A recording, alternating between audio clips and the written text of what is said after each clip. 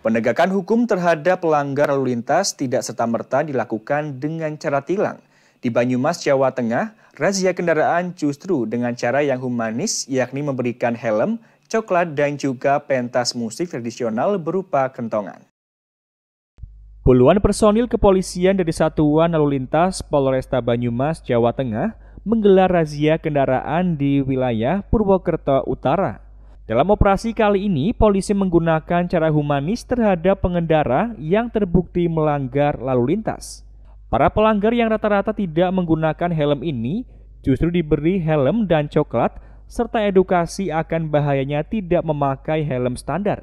Selain itu, dalam razia ini petugas juga mementaskan seni musik tradisional Banyumas yaitu kentongan dan si badut yang selalu berjoget sambil mengatur arus kendaraan. Uh, sampai dengan hari ini sudah kurang lebih 4.000 uh, pengendara kendaraan bermotor yang kita lakukan penindakan berupa etle.